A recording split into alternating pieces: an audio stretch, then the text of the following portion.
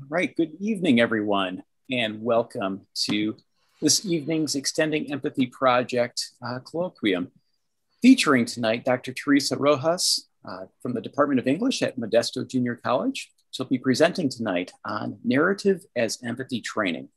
My name is Dr. Nathan Carpenter. I am the Director of Convergent Media for the School of Communication at Illinois State University, and I'll be providing technical direction for tonight's presentation. Uh, there are two things to be aware of. Uh, the first is that if you are joining us on Zoom tonight, if you have questions uh, during the talk itself, feel free to post those in the chat and we'll save those until the end of the presentation uh, for Dr. Rojas to address. If you're joining us on YouTube, uh, we'll be following the comments um, in that space. And if you do have any questions or comments that you would like to post, uh, feel free to post those there and we'll bring those into the conversation as well if they're, uh, do keep in mind though that there is about a 20 second delay. And so we may not see those uh, immediately, but we will do our best to bring those into conversation.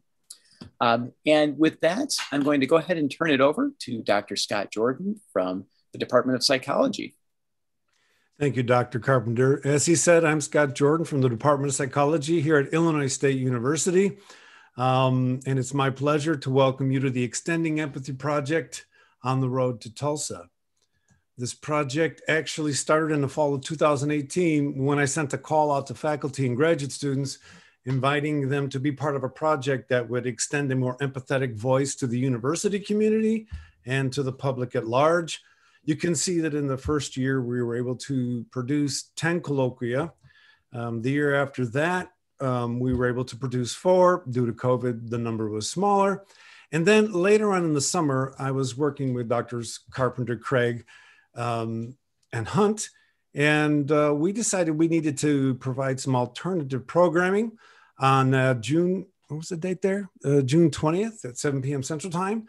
And so Dr. Craig and Dr. Rocco gave an amazing talk entitled, What Should Empathy Be Like in This Moment of Historical Reckoning? Reconciling Black trauma, whiteness, and the historical structure of racism since 2019. This was an absolutely amazing talk, and as soon as it was fin- as it was finished, we knew that we needed to do another extend- extending empathy project entitled "On the Road to Tulsa."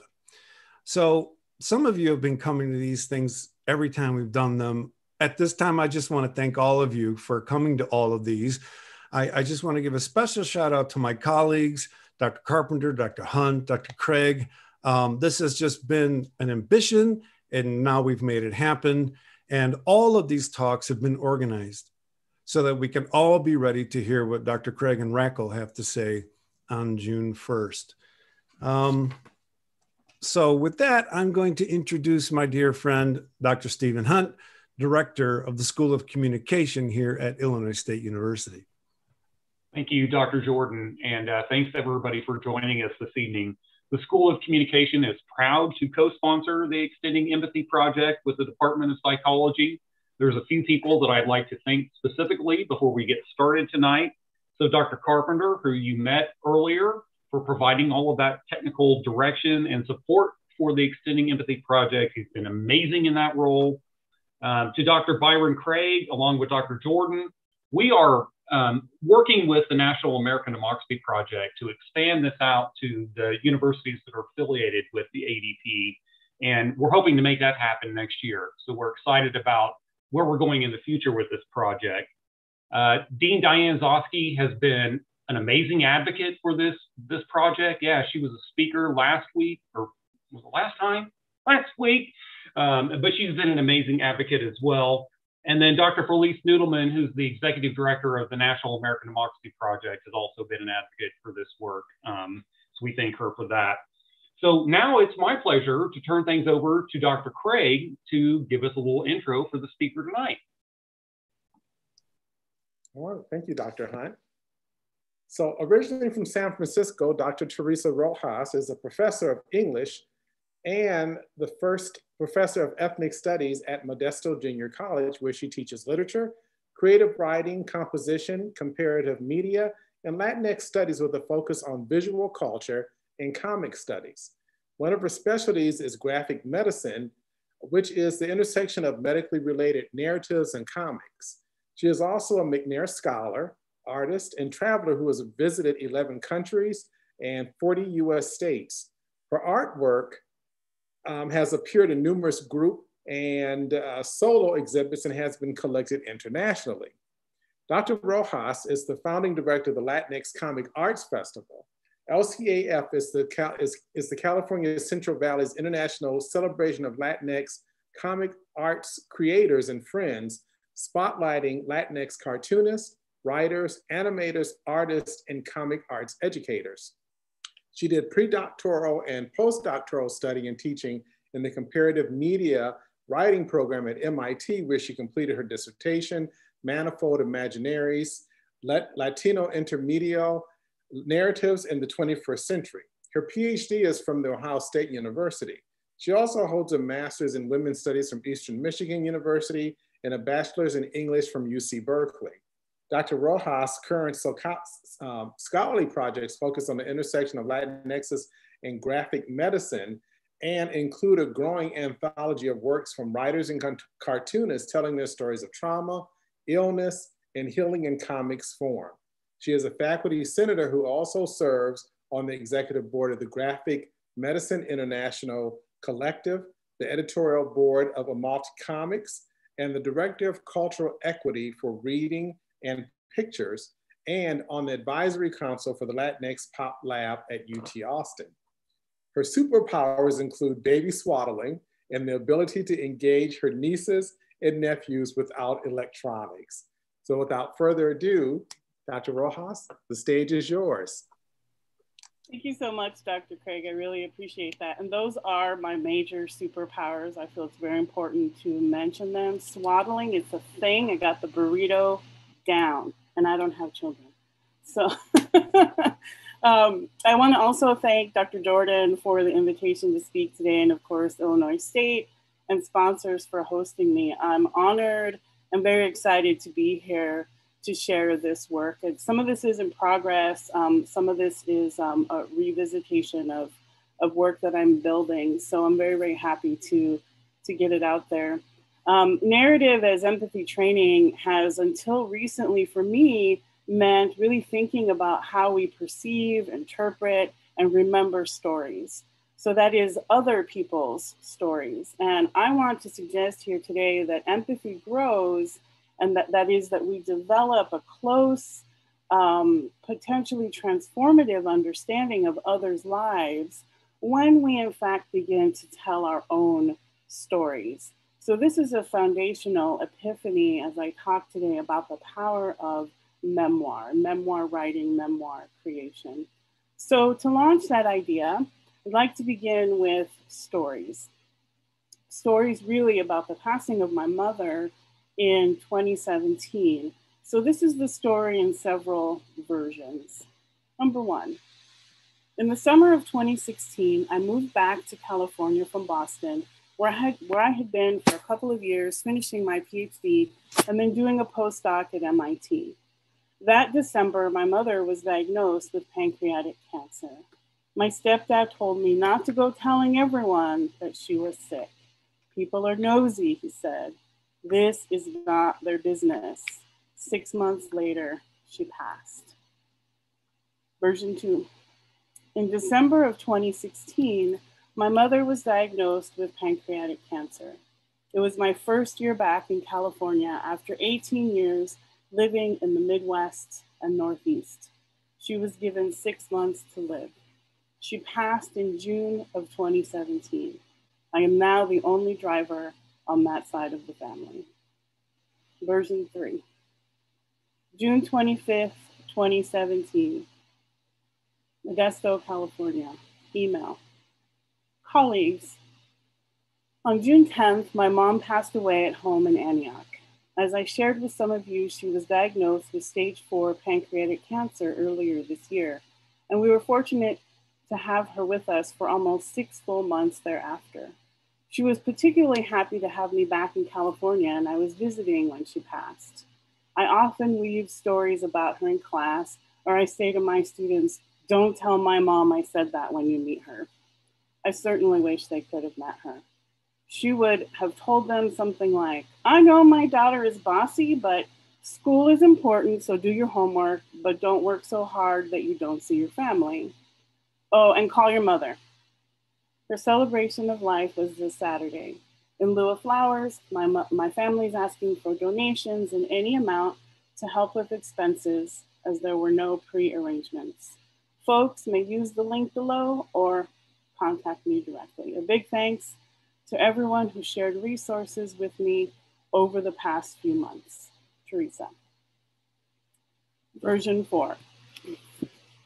This is a poem called Don't Ask Me, Fall 2017. You ask me how my summer was, and you ask me how my summer was. How was my magical summer, you ask me? My wonderful, bright California summer.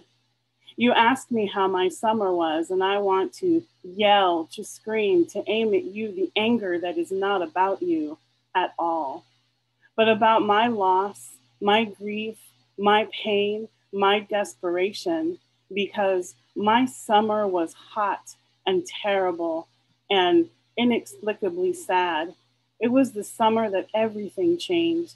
Just a year after earning my PhD, I earned a different kind of degree in lessons we can only learn through loss. You see, my mother died. My mother is dead. My mother is gone. And you asked me how my summer was. How about you read your email? And don't ask me how my summer was and whether I went anywhere fun or did any gardening or made it to the beach or the city or Yosemite for fuck's sake. Don't ask me how my summer was because I spent it explaining to my four year old niece why abuelita, she called her Ita, is gone, gone, gone. Don't ask me because I don't know how to explain the feeling of utter madness, the sadness and neurological chaos that turned my brain upside down when I went to pick up my sister from Fairfield, loading up all of her belongings from the trailer, a literal trailer, where she was living with her piece of shit baby daddy, loaded up her shit bag by garbage bag, loaded up my niece, all boots and pink things, and my sister, and headed back to mom's. Don't ask me why I stopped at the taco truck because everyone was so hungry and tired. Don't ask me why it took so damn long. Don't ask me why I was ordering tacos while my mom was dying. In front of my middle sister taking her last breaths. There's a name for it, you know. They gave us a pamphlet about the last weeks and months, but for us, it was just hours. Before the secretions in the back of my mother's throat caused that sound, the death rattle. While I was freezing in front of that fucking taco truck, thinking everything would be fine if we could all just get something to eat. Don't ask me how. We drove into the garage, and as I eased the van into its usual spot, exactly one foot in front of the washing machine, my stepfather opened the door to the house, looking flushed, wrecked, heartbroken, and, sad, and said, She's gone. Don't ask me how I screamed and ran into the house, down the hall, into my mom's room, yelling, No, no, no. And I'm sorry, come back. Just come back. I'm so sorry. Don't ask me how my mom passed as the door of the garage went up, as though she knew her three daughters were all together again, safe. And don't ask me how I missed my mom's passing by 10 long seconds. Don't ask me to explain how I was convinced that if only I had made it back in time, she would still be alive today. They gave her six months and almost to the day my mother was gone. So don't ask me how my summer was unless your mom died too, in which case you should know better than to ask me.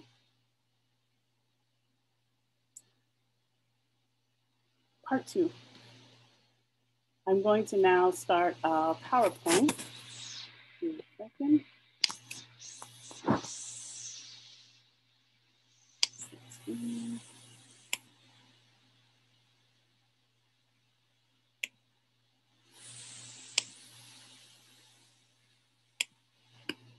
All right.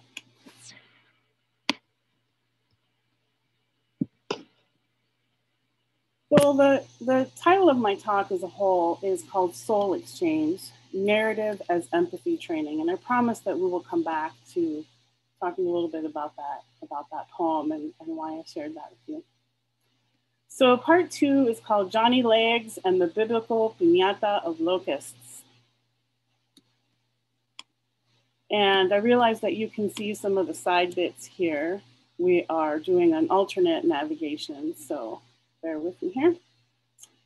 John Leguizamo's Ghetto Clown is a graphic memoir adaptation of the one-man stage play and HBO special of the same name. The narrative depicts Leguizamo's real life development as a writer and performer coping with the debilitating anxiety that accompanied his rise to fame. Through depictions of enduring childhood trauma and Hollywood racism, Leguizamo illustrates the potentially devastating anxieties of autobiography, the challenges of a Latinx actor and what he calls Hollywoodance and the providence of learning to turn destructive impulses into creative ones. So I read John Leguizamo's Ghetto Clown, a graphic novel, as both graphic memoir and a graphic pathography. Graphic pathographies are emerging forms of illness narrative depicting medically related issues in comics form.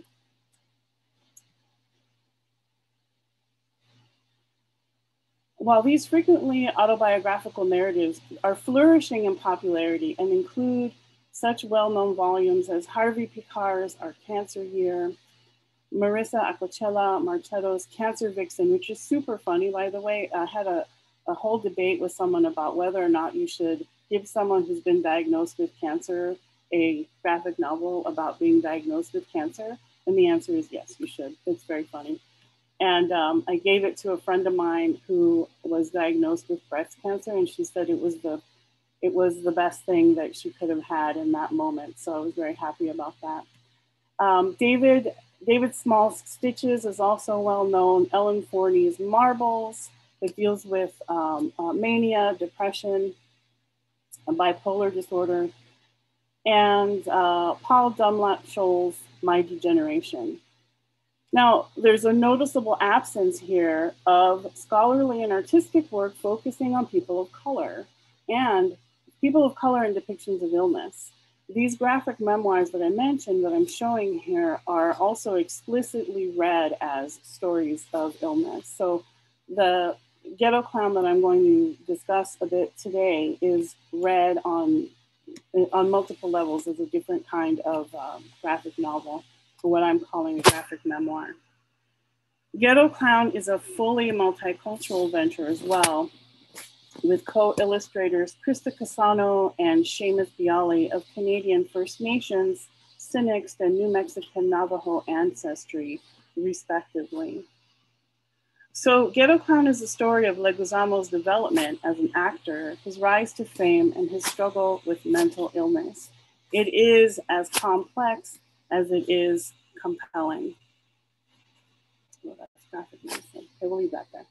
So there's a huge and often unspoken gap in the growing discipline of graphic medicine in terms of the diverse contributions to what Williams refers to as the depository of images that critically inform our collective conceptions of illness and healthcare.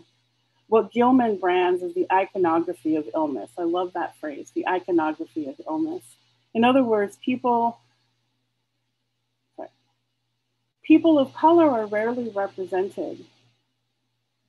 Our stories are simply not told or largely invisible. So back it up just a second. What exactly is graphic medicine for folks who aren't familiar? Coined by Welsh physician and cartoonist Ian Williams, who's also a friend of mine, the term graphic medicine came together as Williams was working on his MA thesis in medical humanities. As he noted the growing number of comics and graphic novels that dealt with medical content, he created the website graphicmedicine.org, which is fantastic. And it has come a long way over the years. And this is really the main website for the study of and the exploration of graphic medicine. And he did this to begin cataloging such texts as the ones that I showed earlier. So full disclosure, I'm now on the executive board of the Graphic Medicine International Collective. So I'm going to say all nice things about graphic medicine and graphicmedicine.org because I love all things graphic medicine. So in the groundbreaking uh, 2015 text, Graphic Medicine Manifesto, Williams, Czerwiec et al. assert, quote, graphic medicine is the intersection of the medium of comics and the discourse of healthcare. It's an approach to the education of healthcare professionals, as well as an emerging area of interdisciplinary academic study. So practitioners of graphic medicine include a wide range of people from doctors, cartoonists, comic scholars, literature professors, artists, writers, healthcare workers, medical students, and, and comic enthusiasts in general. Even traditional superhero comics have been dealing with issues of fragile bodies for years. Jose Alaniz's 2014 Death, Disability, and the Superhero, for example, points to how hypermasculinity, among other things, masks underlying vulnerabilities of serious disabilities in a multitude of superheroes, including Superman, Iron Man, etc. He points to, quote, awareness of related body issues in the post war United States as represented by hospice, death with dignity, and disability rights movements, end quote. This was traditionally the domain of the doctor or medical artist who wielded power by controlling and standardizing the way that diseases were visualized. Graphic medicine to, seeks to disrupt this power imbalance um, and believes that those best positioned to represent illness and caregiving are those who are living with it. So that brings us back to Ghetto Clown in the opening of, of his show, because remember I said that the, the book is based on his uh, the HBO special, which is based on the the show that he created, the stage play. He states, "Hello, I'm going to give you a piece of my soul, and if you give me a piece of your soul, and we do this right, we'll have a soul exchange. A soul exchange. For me, this captures the essence of the creation and consumption of autobiographical texts. A soul exchange suggests a process by which empathy is not only possible, but probable. So I really love that phrase, a soul exchange.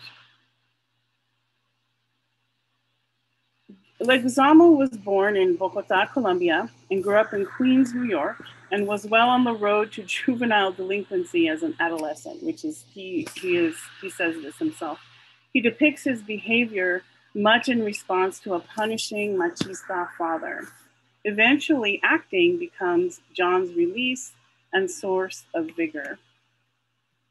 Here, in an image that readers see twice in the graphic novel. And by the way, I use graphic novel and graphic memoir interchangeably in this talk. Um, if I were being very particular about it, I would say that they're actually two different things, but we don't need to go there today. they're related, they're cousins. So um, John discovers the power of acting. The text reads, I didn't realize I had all this anger in me. For the first time in my life, I learned how to take all my self destructive impulses and turn them into creative impulses. John's silhouette, depicted here in negative space with mouth open and arm raised as though speaking into a microphone, is filled with scribbles of various line thickness, suggesting this perpetual motion and focal vortex for his anger. We later discover that John struggles with mental illness, which is traditionally extremely challenging to depict in visual form. If you think about it, it's really hard to, to effectively depict depression, for example. Like, what do you do? Do you draw a cloud that's sort of raining? Do you draw scribbles? Do you draw, um, you know, what, how is it that you visually represent? What kind of iconography do you choose to represent um, depression and, and mental illness? And then he says, I also learned that there are a lot of hot chicks in these acting classes. so that was some motivation. When John attempts to share his triumph with his father, He is mocked and ridiculed. In this scene, when John tells his father he's found his calling as an actor, his father, depicting sitting on the toilet, calls him derogatory names and throws John out of the house. The audience here is clearly meant to feel the disappointment of these dreams, not just cast aside, but if we take a look at that last panel, flushed away. So the dialogue, Dad, I got a plan. I figured out how I'm going to get you out of this place. I'm going to put you in a brownstone and mom and me, because I'm going to be an actor. Pero qué demonios? Tú eres mongolico or, or I'm to skip that word because we didn't we didn't go into this country come to this country I'm sorry I'm having trouble with the the um, the way the language is depicted because I'm I'm sort of flashing back to my dad who would be really angry with me saying things um, and with the accent. So I'm going to skip to the panel. I'm warning I'm warning you become an actor, and you get the hell out of my house. And then he flushes the, the toilet. So sorry, Dad. Earlier, when John is younger and getting into trouble, he winds up in jail after an incident on the subway. His father appears to bail him out, and through John's eyes, literally, oh, literally depicted eye shapes. That's the next slide right here. Um, we see the imposing and very pissed off figure of his father as Darth Vader. And he says, Why are you crying, mariconcito? Which um, I'll let you look that one up. Um, in the next panel, he sees stormtroopers who have arrived as backup for the moment. Here, Vader and the stormtroopers are manifestations of John's angst as it intertwines with both his imagination and this moment in popular culture. I really love it in this page, not only that his father has become Darth Vader, so you can sort of imagine the theme song as the dad appears, but that the perspective, that John's young perspective is that the eyes are actually carved out. So we get these panels that are in eye shape, which I think is super interesting. So another trajectory of the book depicts the anxiety of what Leguizamo calls Hollywoodins, which I mentioned before. Leguizamo shares, quote, I learned that no matter how fucked up your life was, you could put that shit down on paper, end quote. Indeed, this is how he dealt with the trials of his career, family, and his inner demons. As he was navigating the new world of Hollywood, invigorated by opportunity, we learned that he was also navigating his own emotions about success, about happiness, and, wh- and why he was unable to fully grasp a feeling of fulfillment from his career. Leguizamo uses caricature to construe his relationship with depression and self esteem. So, at various moments in his career, we see John struggling. And I, when I say John, I'm referring to the character in the book versus Leguizamo, the author. We see John struggling with depression. In this recurring set of pages, John directly expresses his emotion, his emotions. I was depressed, and we have these long uh, rectangular panels. I was depressed, and when I'm depressed, I sleep too much. I don't want to see or talk to anyone, and then I down too much coffee, and then I can't sleep, so I drink too much, and I lie around thinking about death. And I can't stop beating off. And then I'm disgusted with myself, and I hate myself, and I can't leave the house because I repulse myself it's interesting here that not only is John narrating the cycle of depression, but also that cycle is visually represented with repeating horizontal black silhouettes of John lying on his back, simulating a kind of death shroud. And then in the last panel, an epiphany.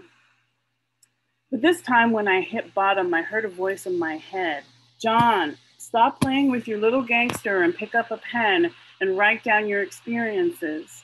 Eugene O'Neill did it, August Wilson, Garcia Lorca, and Sam Shepard did it too. Thus, the vulnerability of this cycle of depression and self abuse leads to a critical moment of revelation.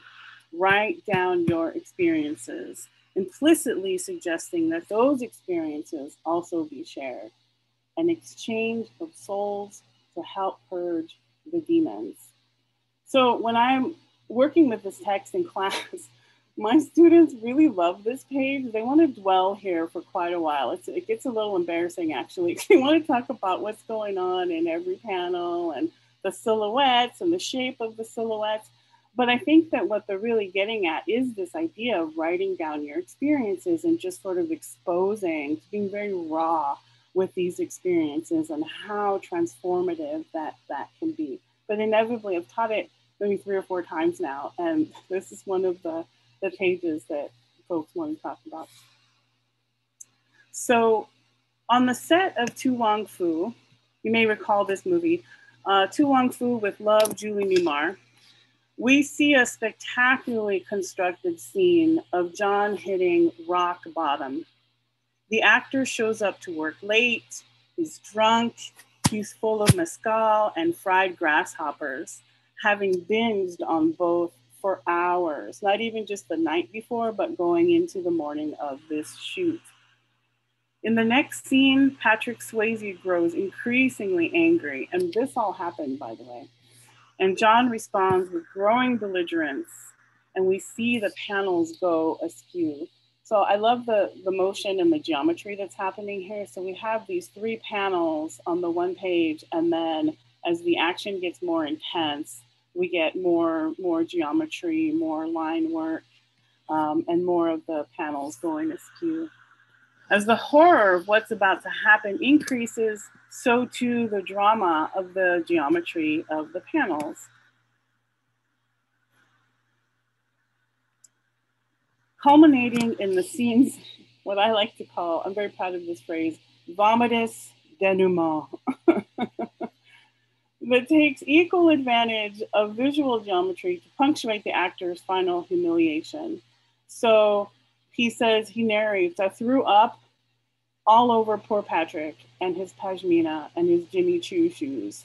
It was a biblical piñata of locusts, little thoraxes and wings and antennae. It's what I get for being cheap. I'm sorry, Patrick. Head for the hills. Run, Wesley. Save yourself. Wesley Snipes was also in this movie. And then this is the the vomitus denouement.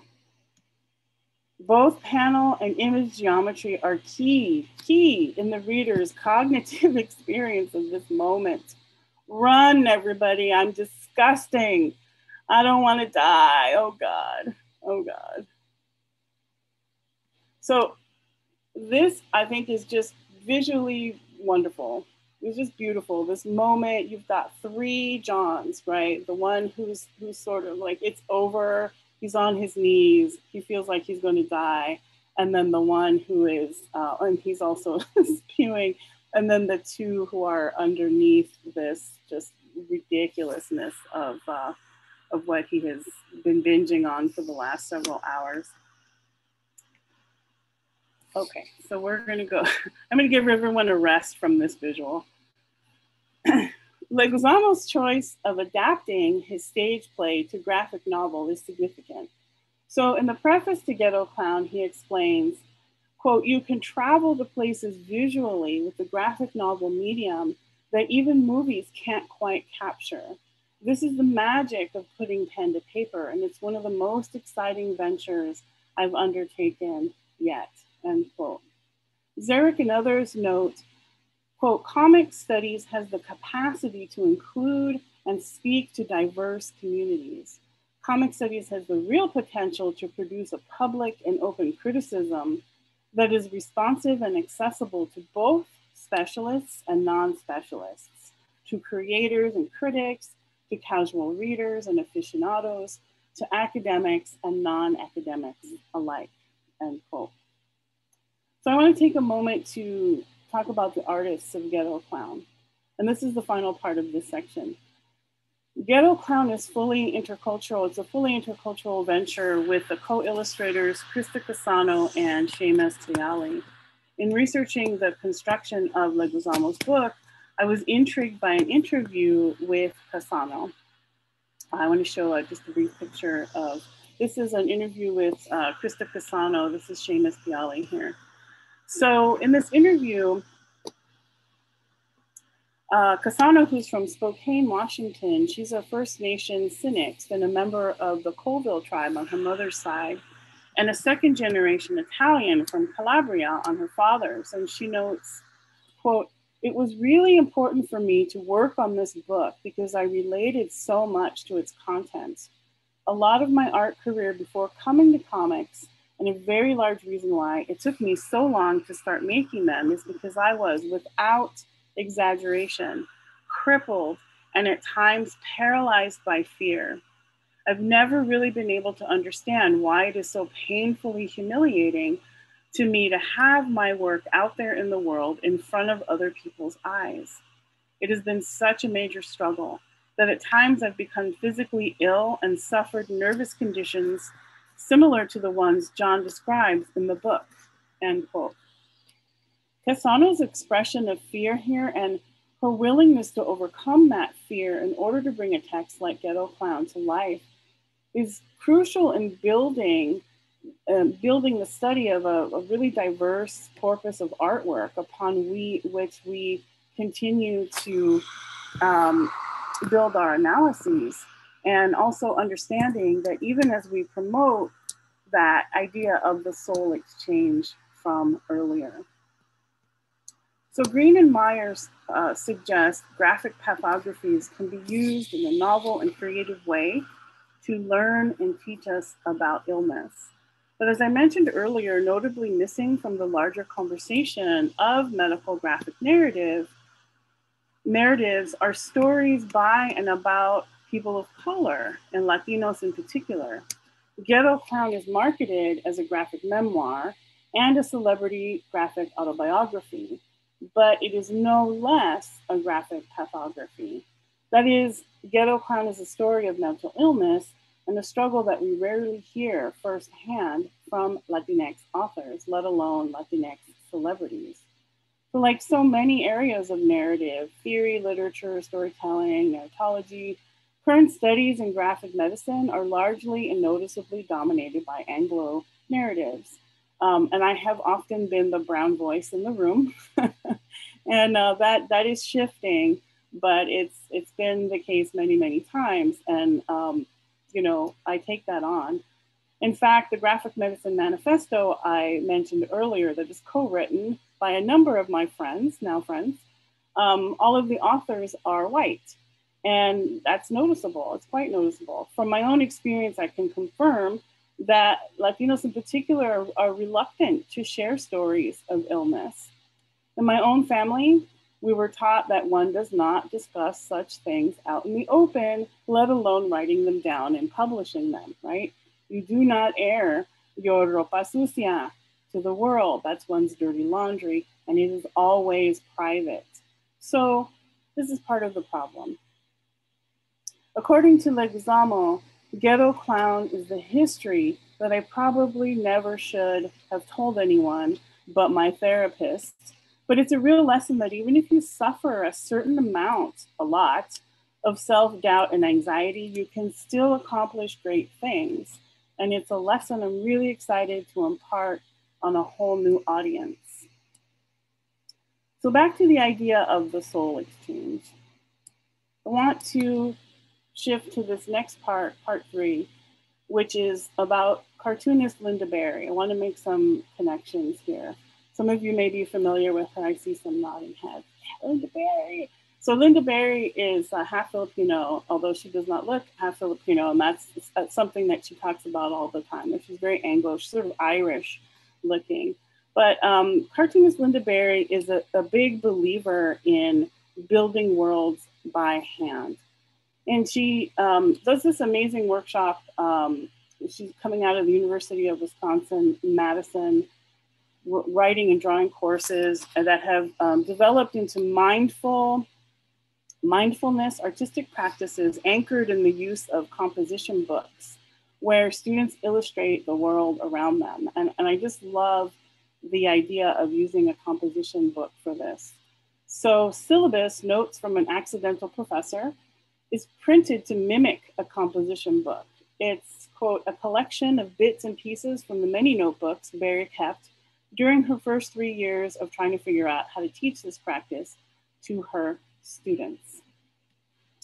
And so that so if anyone is unfamiliar, this is what a normal composition book looks like, right? We're having nostalgic moments, are we? Are we kind of feeling that composition book energy? and you can get these now. As a matter of fact, my nieces and nephew, uh, they do lots of their homework in these composition books. They're super cheap. They're like 50 cents, a dollar each.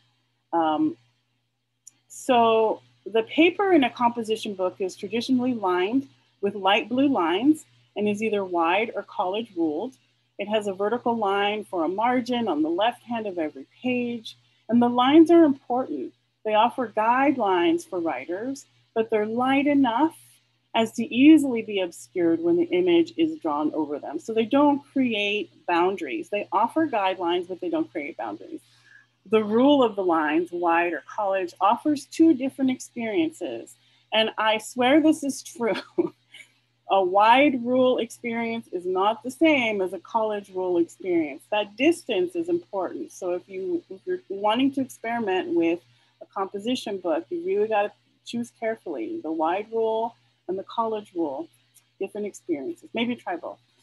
Barry advocates cultivating mindfulness as a critical way to develop a compelling storytelling practice. She shares her storytelling practices, which I think is, is really cool. Um, eschewing aesthetic judgments, that's important. She emboldens her students to focus on significant and varied mark making to foster an awareness of the world. She writes, she asks, How do you stop saying nothing happened? One way is to pay attention, to be quiet, to see what's there, end quote. For Barry's students, this means logging daily sensory observations in a composition book and then using this material as the catalyst for graphic storytelling. With substitute brain names, so she substitutes students' names for brain names like amygdala and neuron, Barry, Barry students are encouraged to consider how the physical process of drawing words and pictures triggers brain activity. And they are also reminded by these names that what they're doing is a cognitive process. Now, I tried this with a class one time. I don't have the memory yet, the memory capacity yet to remember all of these names, but it's some it's a goal of mine. And what I love about that is that it's um, it, it, there's an equalizing factor in this because students choose their name. You can have some other sort of theme, but it's um, it's a way of allowing them to choose a different identity that has a connection to the process that you're trying to call attention to. Barry notes, quote, I had no idea that 40 years later, I would not only still be using a notebook as the most reliable route to the thing I've come to call my work, but I also be showing others how to use it too as a place to practice a physical activity, in this case, writing and drawing by hand with a certain state of mind.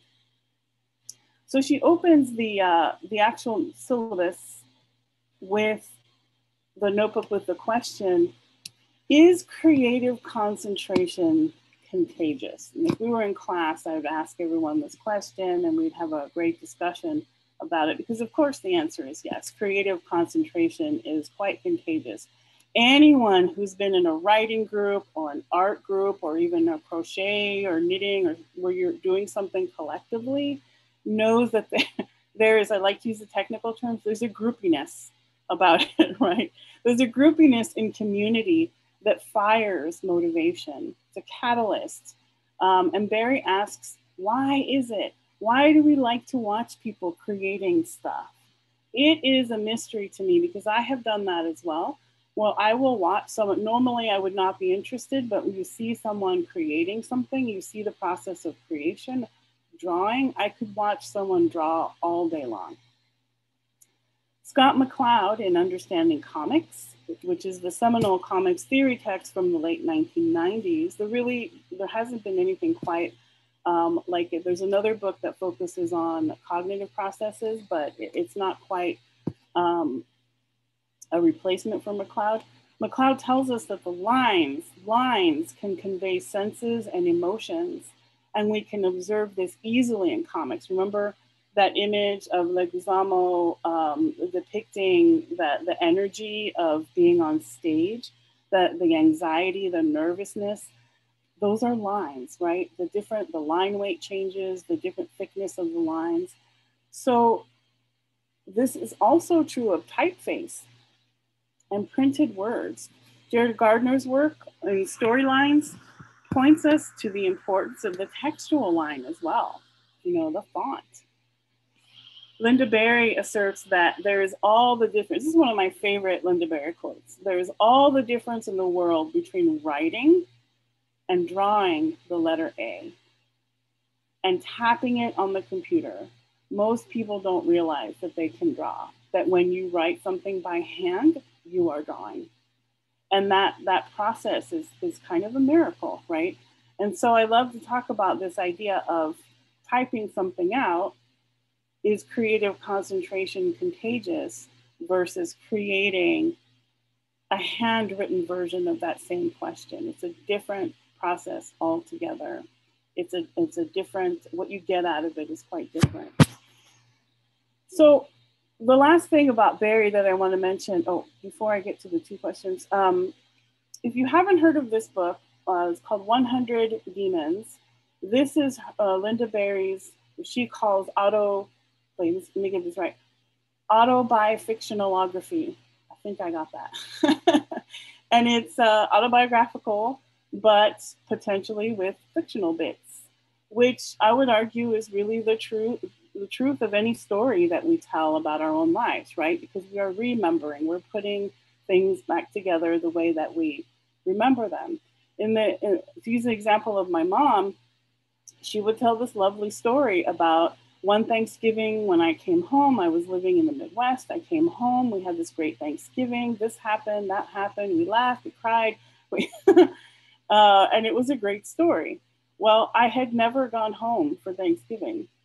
So this story that she loved never happened. It absolutely never happened. But she told it over and over again. And I still don't know what that was all about. But it was a great story, so I, I sort of let her have it.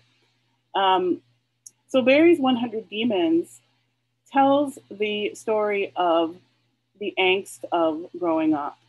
And in addition to that, she shares her process. She discusses the process of creating, with an ink stone, which I have, and they're wonderful, an ink stick, and this idea of drawing one's demons, whatever that means. And that in the process of drawing one's demons, we are processing. In the process of drawing, we're processing those demons. So this is a great book, and I wanted to make sure to to shout it out so that um, if folks are interested. I'm not getting a kickback or anything, so you know.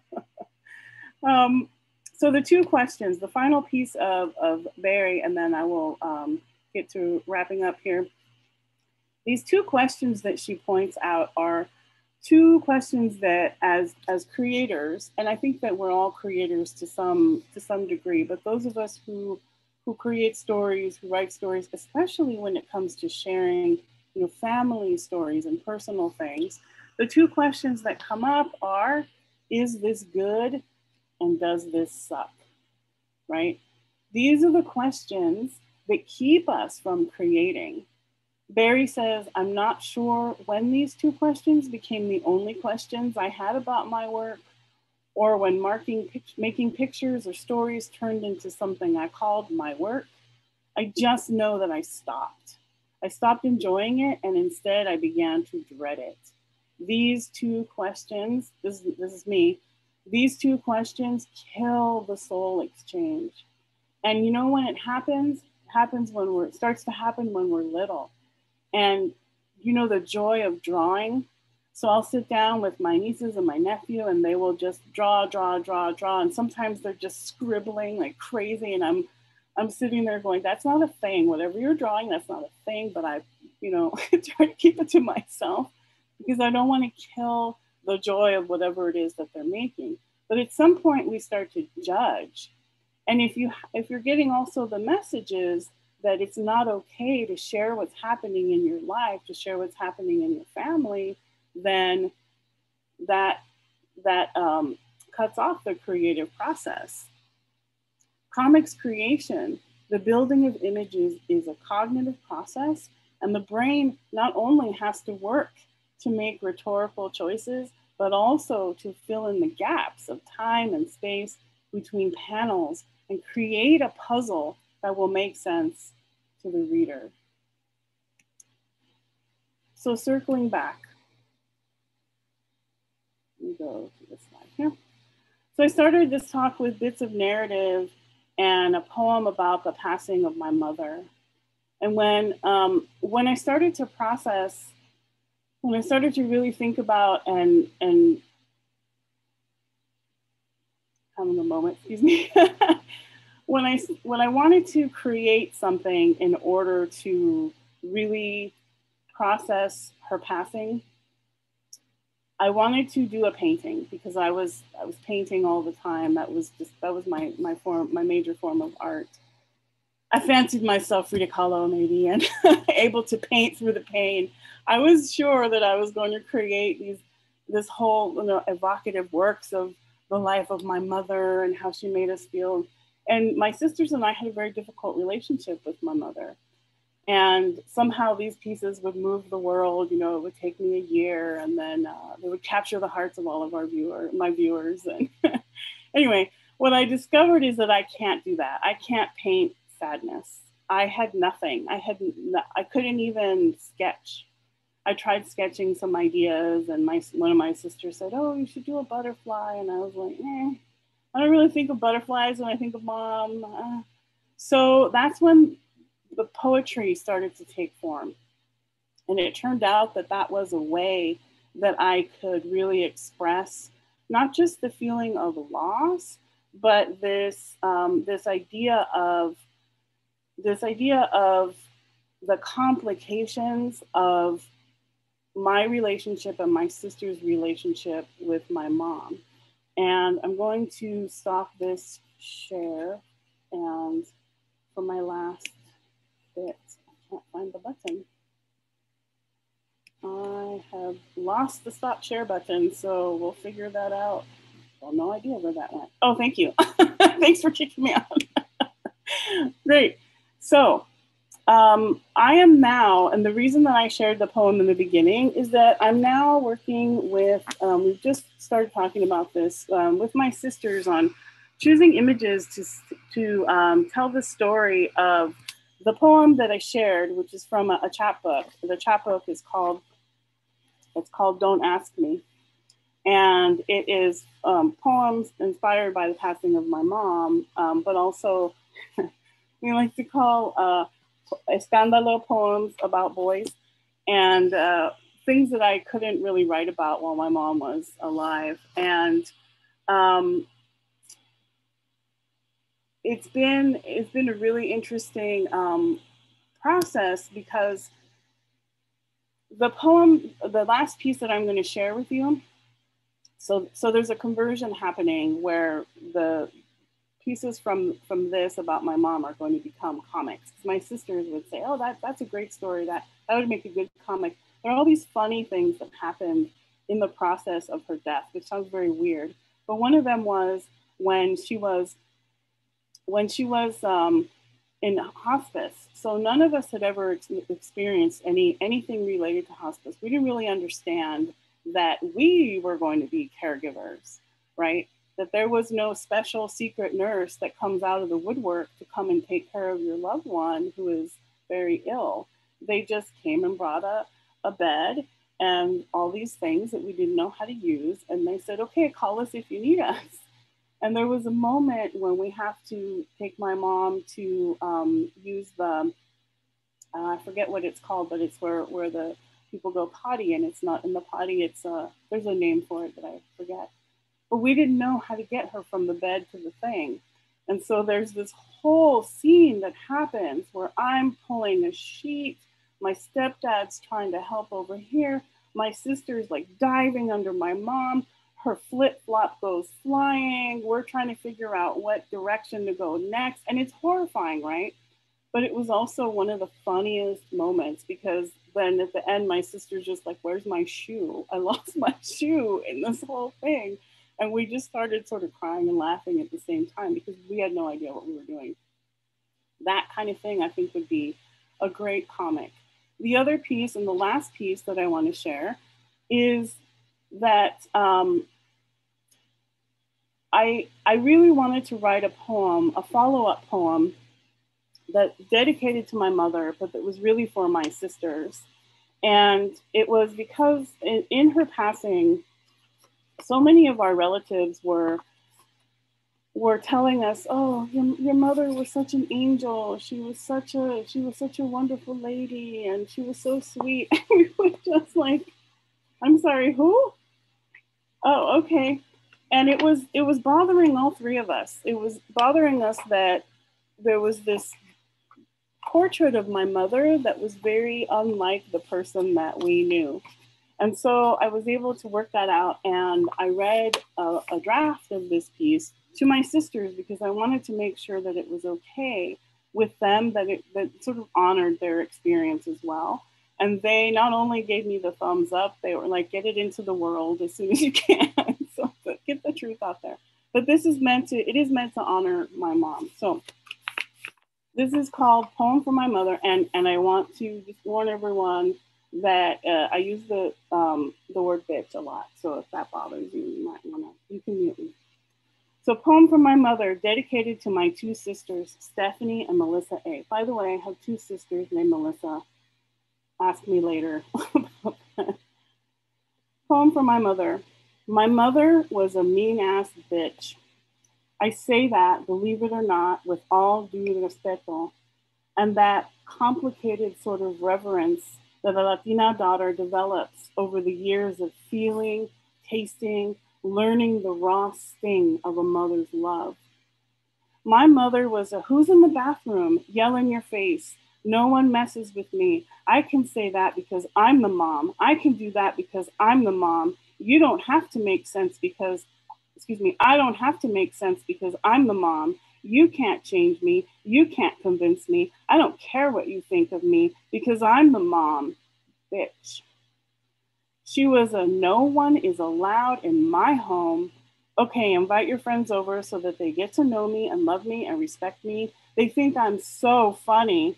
Then after they leave, I can talk shit about them behind their back and deny it if you call me on it, bitch. She was a, why are you wearing that? You think you're better than everyone else. You are the most selfish daughter. You'll be sorry. You are nothing but a slut and such a little bitch, bitch. She was so unhappy with her life. She wanted everything from us. She wanted everything for us. Annoyed that she raised three girls who talked back, even as she taught us to do just that with the rest of the world. My mother was a chingona. She was a badass of the highest order. She was on the phone, taking notes, working the system, memo pad hoarding, clickety, clickety, clicking, pen, bitch. There was no chancla throwing because she was a Velcro tennis shoe wearing, reading the Lane Bryant catalog, Spiegel's mail ordering bitch. She was a half price books buying, romance novel reading, The Duke is Coming for Me Someday, British mystery reading, PBS, Downton Abbey watching bitch. She was a don't ever let a man tell you what to do. If you leave now, you can never come home. No one wants the cow when you can get the milk for free. Remember, you can always come home if you really need to. No Hallmark card expresses how hard it was growing up with her, how hard she was on us, how complex our relationship how much we loved her even when we hated her. We could never understand why. My mother would shave her eyebrows off just to draw them back on. Plastic curler pelo pintado, contradictory as fuck, loving, caring, yelling, screaming, raging. She was a capital B bitch who left each of her daughters a journal before she died. Three journals just a few pages, just what she could muster in between bouts of pain. Her last words to us were on paper, thoughts she could not say to us face to face, and we were so afraid to read those pages. But eventually each of us did, and in mine, she wrote, 2 3 17. My beautiful firstborn, I thought it was a mistake. Don't get too involved with work that then you miss out on life. She was my mother, and I loved her, and sometimes I hated her because she made it so hard to love her, and I miss her every day. So I want to end with what I always say at the end of every panel for the Latinx Comic Arts Festival, and that is that I encourage you to create the stories that you want to see in the world. Thank you.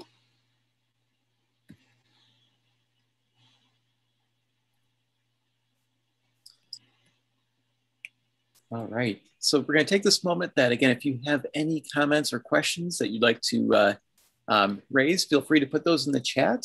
Uh, there is one here already, and uh, uh this is from uh, Dr. Craig in the chat. Actually, I want to turn to Dr. Craig. Would you like to ask it directly, or would you like me to read it and field it from here? It might be easier if I just ask the question because yeah. I was just I was having this stream of consciousness thought as you were going through this whole thing, uh, Dr. Rojas, and, and, I absolutely loved your talk. I thought was very um, what can I say? I think it, I think you were hitting on a really um, notion of uh, radical empathy. Mm-hmm. Uh, and I know this is not a new term, but I think it's you know your use of the creative here with the poetry, with the imagery, and, and by the way, I, I love the fact that you took the time to actually give us a visual reading, and, and I would call I, I do visual rhetoric, right? And so I love the fact that you were doing this reading of the, um, the panels and the drawings in the graphic novels, right?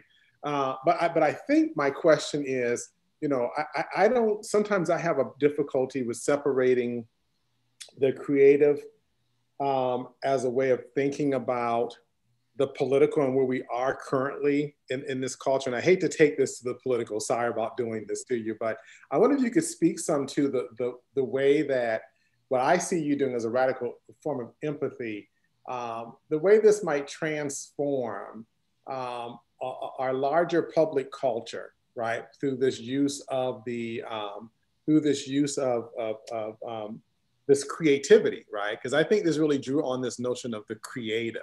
And that's what I love so much about that. I don't think we give enough emphasis to the creative when we think about scholarly work and we think about the, when we think about politics and where we are now. So if you could speak to that, I hope that makes sense. Kind it does. It actually really does. And I'm, I'm so glad that you asked that because I was told early on and it felt, it felt um, wrong. I was told early on, pick a lane, right? You cannot be a creative and an academic. And I was like, oh, okay, I didn't know that.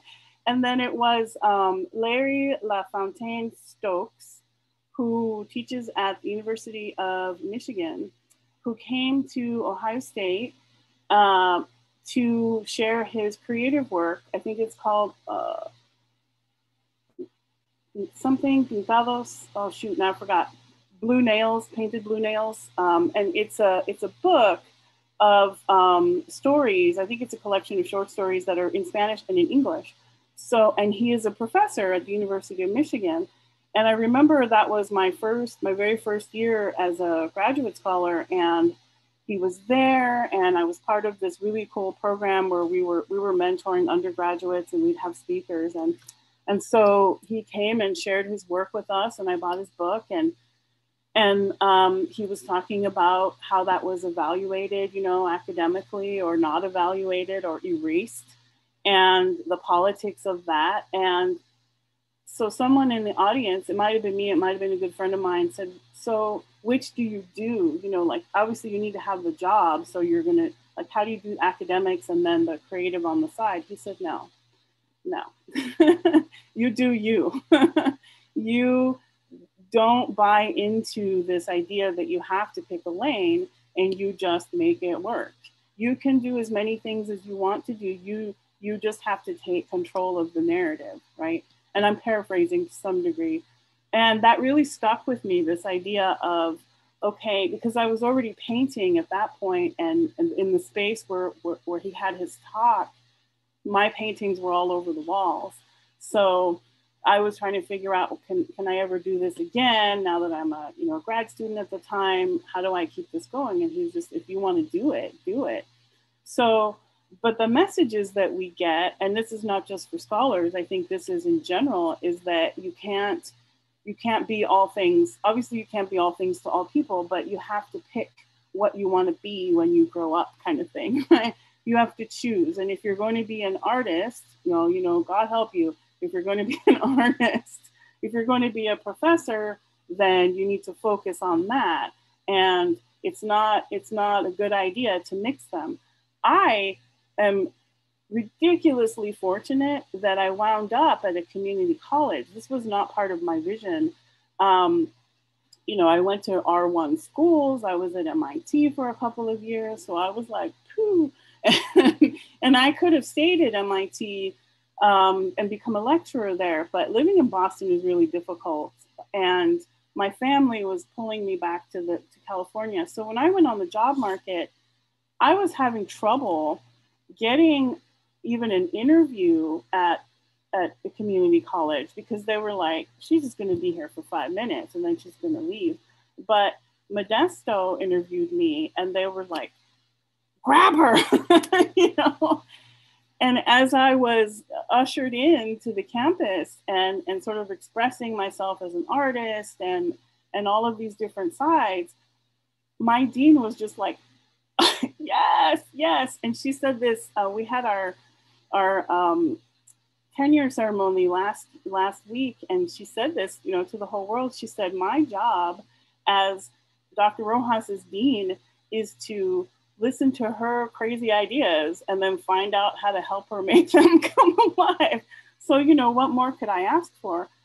But the messages that we get that we have to fight against are that's not okay, or um, you know, who are you, even from my own family, who do you think you are?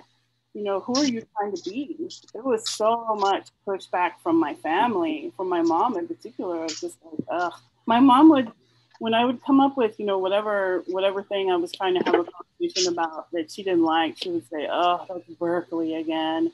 That's your her Berkeley's coming out." You know, what does that mean? I just want to have a conversation, and that's hard I have students who I know are constantly getting pushback from the family because they're first generation or their um, you know families just don't quite understand because they're they're the first ones through the gate. And so they don't know how to be supportive.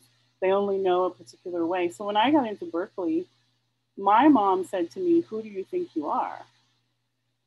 And i was and i tell my students this all the time. I was like i'm the I'm the one who got into Berkeley. Can I go? And then, and then she was like, you need to get a job. Like, what a bum I was.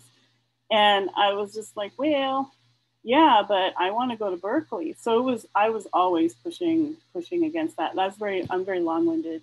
Um, but, but that, yeah. So I feel that, I feel that question um, deeply, very deeply. Yeah, no, I, I appreciate your answer. I, I, I think everything you're saying also is really important to understand. We, uh, you know, I think one of the things we have to think about is empathy also in the university, right? And thinking yeah. about for for faculty of color, students of color, queer faculty, queer students, uh, you know, the, the, the um, our experiences really are important, right? And a lot of times for me, I think, you know, Bell Hooks talks talked about this quite a bit in her younger years. You know, creative expression for us it is has to become has to be part of our scholarship, right? You know, we're, we're very, you know, we're very narrative and that has to be appreciated. It has to start being appreciated by the university. So, you know, I, I certainly, I just applaud this work. You know, I'm, I just, I love what you're doing here. Thank you so much. And there's a history of silencing, right? Silencing people of color. And it starts with our families, unfortunately. And, and then it is systemic.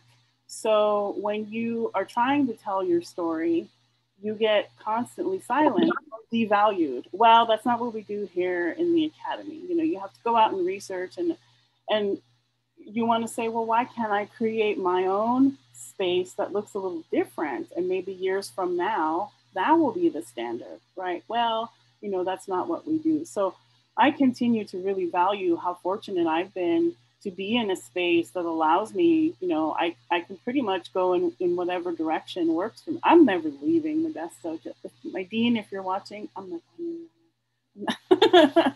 um, but I also, I talk to students all the time about, about this idea of um, risk and the risks that we take. I couldn't, um, I don't know how long it would have taken me to write something like that last piece that I did while if my mom was still alive, right?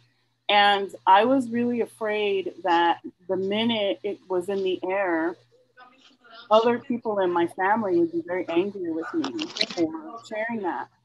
But once I got my sisters okay, my sisters' approval because they were in the house with me, you know, that we all, the three of us grew up in the same house and once they were crying, they were laughing, and they were like, just, just do it, just get it out there. It was great. So they were the only people, as far as I'm concerned, who really mattered.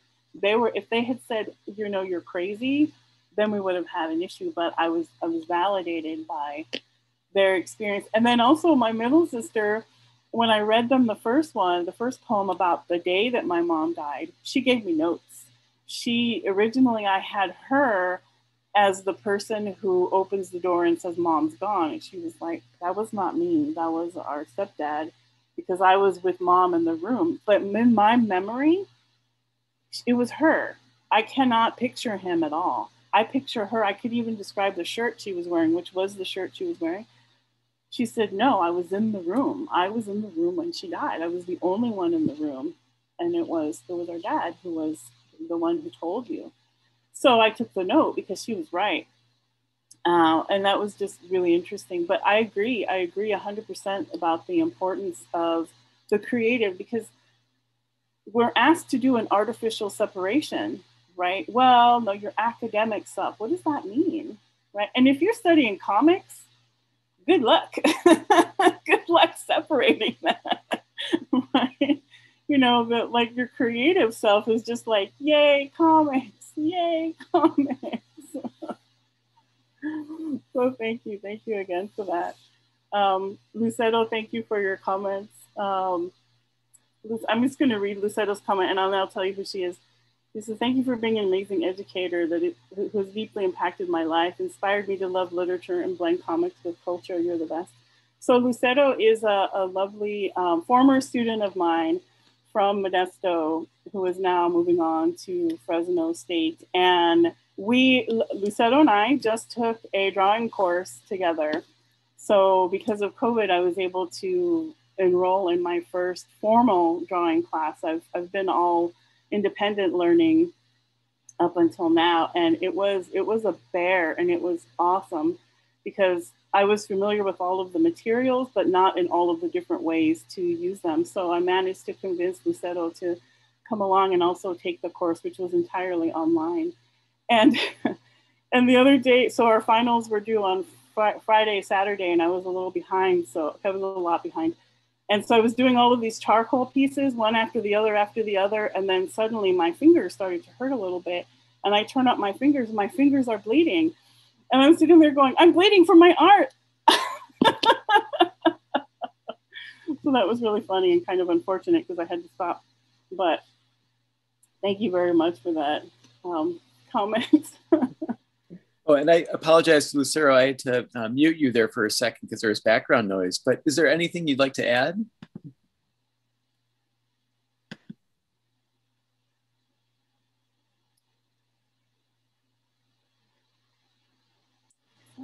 or if other folks have questions, I'm happy to answer or thoughts about, you know, any of the any of the work that came up. Or um, so Lynda I, Barry is one of my favorite people, mm-hmm. one of my favorite creators.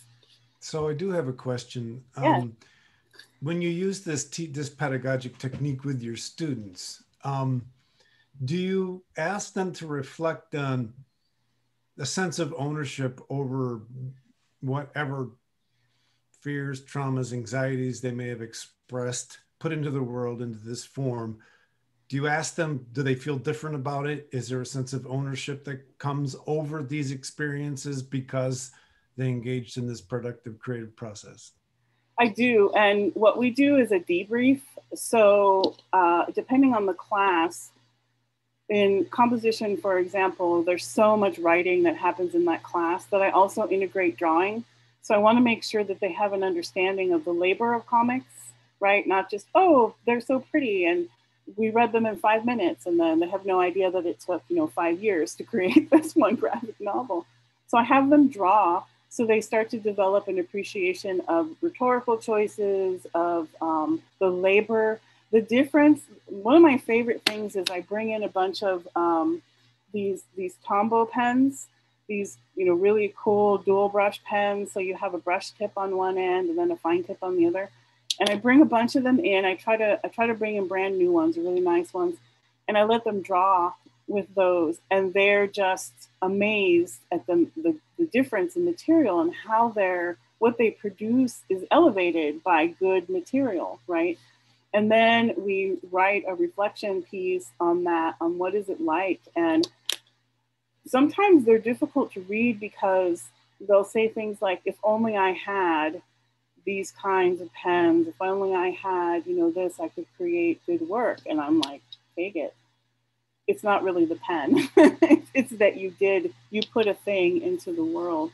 So yeah, I try to do plenty of that. And then also encourage students in, in normal times to come by my office or to reach out. It's really interesting right now because the office hour visits right now are very long. They tend to be very long. Students just they and and I I um I allow it because I'm happy to see them, but they just want to talk and talk and and then once they start I can't give them any materials, but once they start drawing something opens up and they want to talk about the process.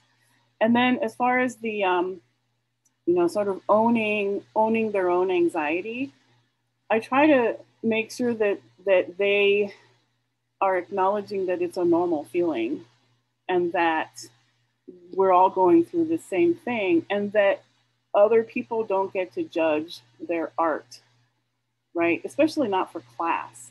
That but, so I'll have students sometimes who sometimes who come in and they'll say, well, I really wanted to draw X, but I have no drawing skill, so I didn't do the assignment.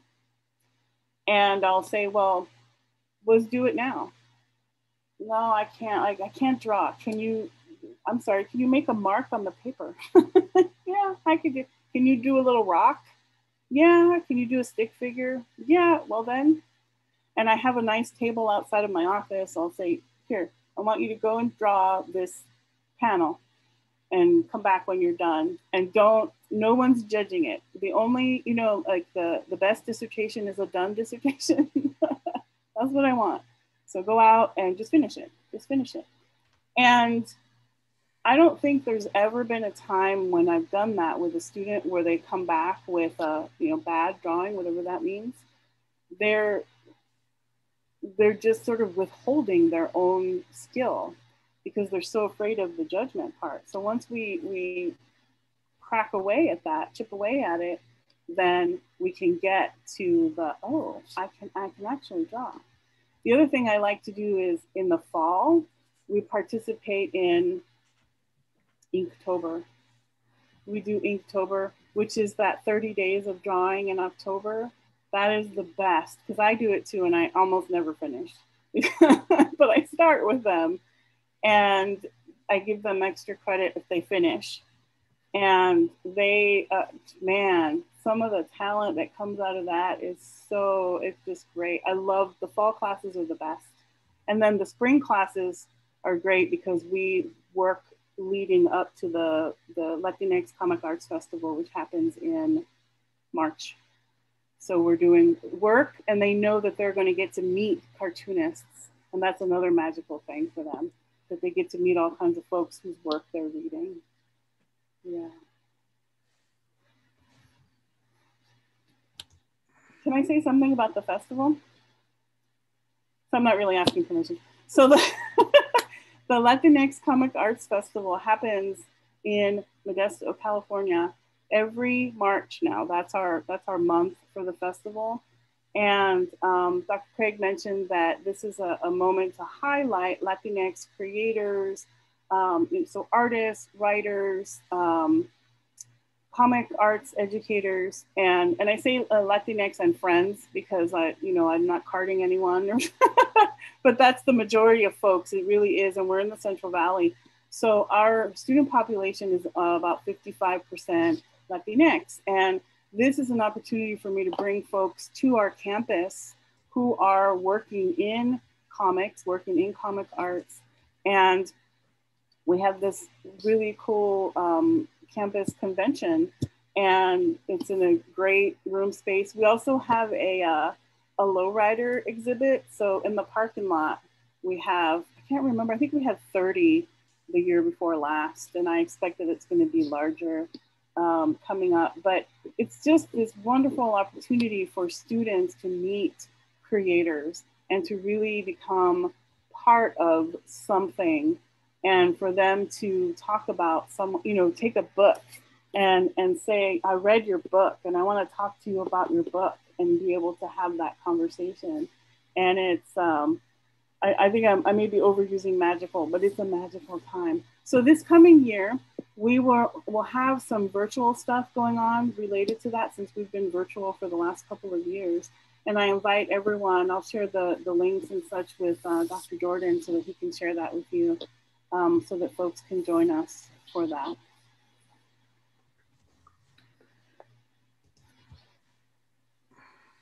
All right, so uh, if there are no more questions, um, Dr. Rojas, thank you very much for that talk. You can see how many I kept talking um, and asking questions. So I'm sorry when it took me so long. I took so much of your time up. Um, and I actually put another comment in there about you reminded me of the importance of memoir writing. Oh, yeah, yeah. Um, you know, it's I, for me, it's an early form of memory studies in rhetoric yeah. and public culture. So I, am I'm, I'm really appreciative of the, of the work you, you're doing with that also. Thank you. I love that. I agree. Yeah, absolutely. So um, we are um, finishing it up and we have one last talk to do. Um, and that one will take place on June 1st at 7, Tuesday, June 1st, 2021 at 7 p.m. Central Time. And the Zoom link is attached. And that will be um, our Extending Empathy Talk, project talk by um, um, Doctors Byron Craig. Who is that, I wonder? And Stephen Rocco from Indiana University. And the, talk, uh, the title of our talk will be Exorcising America's Demons, Race, Politics, and Empathy.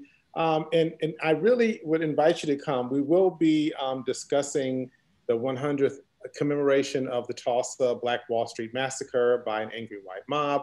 And, and in the talk, we plan on working through um, the, the racial and political demons since Tulsa, and then discussing how a radical empathy, which I brought tonight, is, is necessary to work through where we are as a nation politically, culturally, socioeconomically, et cetera. So that will be the last talk of the, uh, uh of the um, of this series.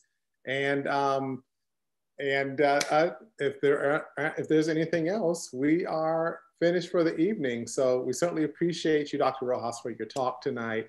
And thank you everyone for coming. And thank you to the crew. Thank you. I just want to say thank you again to uh, Dr. Jordan for the invite. And everyone should come to uh, on Thursday for our next ReggieCon event, right? Don't forget about that. And um, I'm really happy that I was able to be here today. Thank you so much. You're welcome. All right. Good night, everyone.